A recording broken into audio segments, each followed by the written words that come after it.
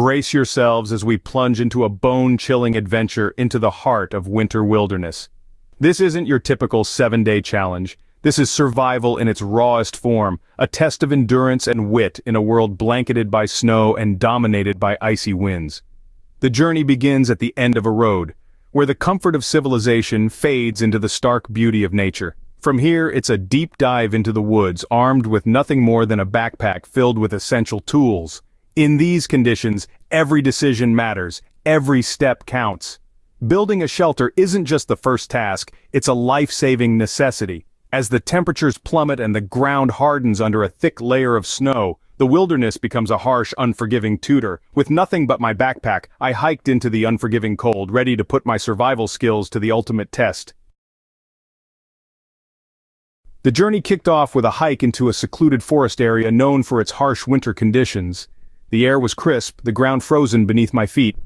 The first task? To build a shelter, a safe haven against the biting cold. You see, in survival, shelter is not just about having a roof over your head. It's about creating a space that can keep you warm and dry, no matter what Mother Nature throws at you.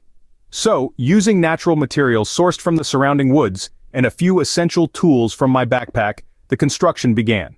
The basic structure was a lean-to, a simple yet effective design. A strong, sturdy branch served as the main support, wedged securely between two trees. Smaller branches were then layered against it, creating a sloping wall that would shield me from the wind. Next, it was time to insulate. I gathered pine branches, their dense needles perfect for trapping heat. Layer upon layer was added to the lean-to, each one increasing the shelter's ability to retain warmth. But insulation wasn't the only concern. Protection from the elements was equally vital. For this, I turned to a clear plastic tarp from my pack. Secured over the lean-to, it would serve as a barrier against the snow and rain. By the time the shelter was complete, it was more than just a structure. It was a testament to the power of preparation and adaptability, the very essence of survival.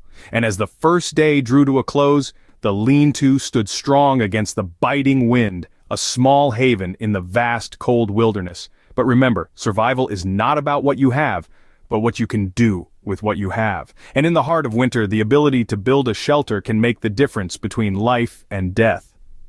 As night fell, the lean-to stood strong against the wind, a small haven in the vast, cold wilderness.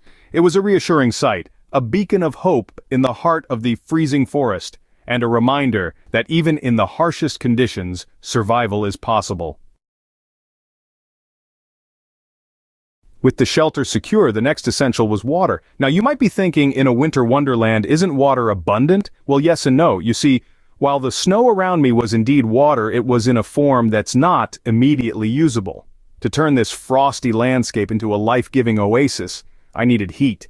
Starting with the basics, I gathered a substantial amount of snow, being careful to choose the cleanest, freshest-looking drifts. The key here is to avoid any discolored or dirty snow, as it can contain harmful bacteria or pollutants. Next, I fired up my trusty little camp stove. A small flame and a metal pot are all it takes to transform this winter's gift into a liquid asset. As the snow melted into water, I made sure to keep a watchful eye on the process. It's essential not to let the pot run dry. Why? Well, an empty pot can overheat and become damaged. Plus, constantly adding snow ensures a steady supply of water, but a camp stove isn't the only way to procure water in the wild. With a little ingenuity I also set up a simple water collection system. Using a clear plastic sheet from my pack, I created a condensation trap. As the sun's rays warmed the ground, the snow beneath the sheet melted and water droplets formed on the underside of the plastic. These droplets then trickled down into a container, it's a slow process, but every drop counts in a survival situation. Hydration in a cold environment is crucial. You see the dry winter air and the physical exertion of survival can lead to rapid dehydration. And let's not forget your body needs water for critical functions like maintaining body temperature and digesting food. So, as counterintuitive as it may sound, even in a world of ice and snow, staying hydrated can be a challenge. Securing a water source was not just a task, it was a lifeline. In the face of winter's harsh beauty, it's a stark reminder of how precious and precarious life can be. And that, my friends, is the essence of survival. The third day dawned with a new challenge, food. The stark beauty of the winter wilderness belies a harsh reality. Food is not easy to come by. But survival is not about ease. It's about adaptability and resourcefulness. In the heart of winter, small game can become a lifeline. Their tracks etched in the snow, a testament to their resilience. With wire from my kit, I set up snares along these trails. Patience becomes a virtue in this game of survival, as these traps might not yield immediate results. While the snares were at work, I turned my attention towards another source of sustenance, edible winter plants. The landscape might seem barren, but beneath the blanket of snow, life persists. Armed with knowledge one can find sustenance in the most unlikely places. Bark from certain trees can be a source of nutrients. Birch, for example, is rich in vitamin C and can be steeped into a tea. Pine needles, too, can be used for a vitamin-rich brew.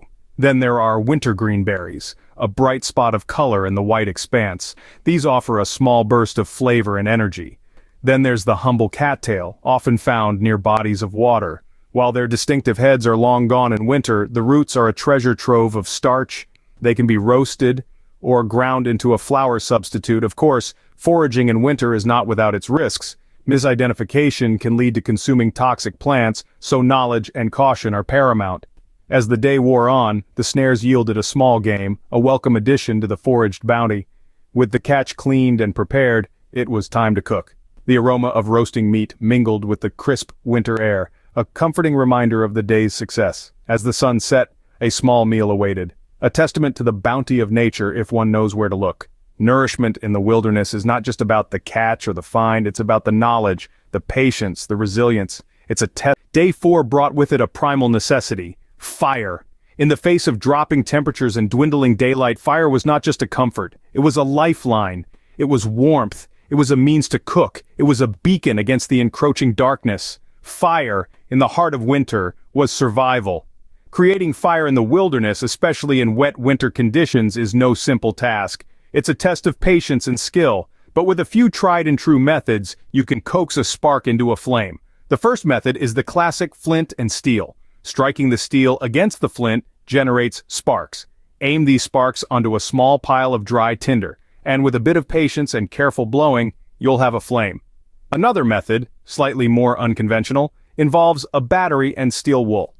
By connecting the positive and negative terminals of the battery with the steel wool, you create a short circuit. The resulting heat causes the steel wool to glow and ignite. Again, you transfer this to your tinder, blow gently, and voila, fire. But creating fire is only half the battle. The real challenge lies in maintaining it, especially in wet conditions. Choose your firewood wisely. Dead hanging branches are often drier than those found on the ground. If the outside is wet, you can split the wood to get to the dry heartwood within. Remember to feed your fire gradually, starting with small twigs and building up to larger logs, and never let your fire get too big. A small controlled fire is easier to maintain and uses less fuel. With a fire crackling, the camp felt a little more like home, a beacon of warmth in the icy wilderness. Fire was not just about surviving the night, it was about lifting spirits, cooking meals, and restoring a sense of normalcy amid the stark reality of survival. Fire was, and always will be, a symbol of hope in the face of adversity. The fifth day was about refinement and organization. The initial urgency of survival had given way to a more measured approach. I turned my attention back to my shelter. The lean-to that had been hastily thrown together now required upgrading. I added more insulation, layering pine branches and leaves to trap the heat better. It was time-consuming work, but the payoff was a warmer, cozier home base. Simultaneously, I took the opportunity to organize my tools methodically, a place for everything, and everything in its place, as the saying goes. This would save precious time in the coming days. Firewood was next on my list, I gathered and prepared additional logs, ensuring I had enough to last for the next couple of days. Fire, after all, was a lifeline in the unforgiving winter wilderness. With the camp now more efficient, survival no longer felt like a battle. With my immediate survival needs met, it was time to venture out and explore. Now that I had a secure base, it was crucial to familiarize myself with the territory. The wilderness can be deceivingly monotonous, and getting lost is easier than you might think. So, it was time to put my navigation skills to the test. My first priority was to identify landmarks. These are distinct features in the landscape that can serve as points of reference. These could be anything from a uniquely shaped tree, a distinct rock formation, or even a particularly high hill. Knowing these landmarks made it easier to orient myself within the wilderness, reducing the risk of getting lost. Next, I set up markers along safe paths. This was a precautionary measure. If a snowstorm were to hit, these markers would guide me back to my camp. I used natural materials like stones and branches to create these markers, ensuring they stood out against the snow but didn't disturb the environment. Navigation wasn't just about getting from point A to point B, it was also about understanding the terrain and identifying potential hazards. Steep slopes, frozen rivers and dense thickets may seem harmless at first glance, but they can pose significant risks in a survival situation. Identifying these hazards ahead of time allowed me to plan my routes and activities accordingly. Lastly, I put my orienteering skills to the test. Using a compass and map, I plotted my location relative to the landmarks I'd identified. This exercise was more than just a test of my navigational abilities. It was a way to mentally map the wilderness, transforming it from an alien landscape into a familiar home. The wilderness was no longer a mystery, but a map filled with resources and hazards. It was a place that demanded respect, but also offered the tools for survival. It was a place where preparedness and adaptability were rewarded, and where the margin between success and failure was razor thin.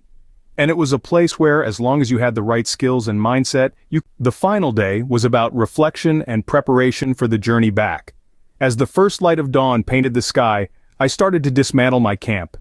Each item found its place back in the backpack, each footprint was smoothed over, each sign of human presence was carefully erased. Leaving no trace is a fundamental principle of survival. It respects the wilderness and ensures that those who come after us can also experience the raw beauty of nature. Throughout this week, I've honed my survival skills and tested my resilience against the merciless winter. I've built shelter, procured water, gathered food, made fire, improved my camp, and navigated through the wilderness. Every day was a new lesson, a new challenge, and a new opportunity to adapt and overcome. As I prepared to leave, I carried with me not just my backpack, but a wealth of knowledge and a deep... Surviving a harsh winter in the wilderness is about more than enduring the cold. It's about preparing, adapting, and overcoming. This seven-day challenge was an intense journey of survival, testing not just physical fortitude but mental resilience as well. From setting up a camp and securing water to gathering food and making fire, every day presented new obstacles and ways to navigate them. By improving the camp, exploring the surroundings, and preparing for exit, we learned that survival is not just about withstanding harsh conditions, but also about understanding and respecting the power of nature. It's about being well-prepared, resourceful, and resilient.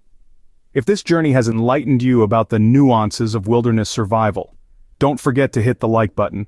Subscribe to our channel for more such survival adventures and share your thoughts or questions in the comments. Stay prepared, stay safe, and remember, the wilderness demands respect and so does survival.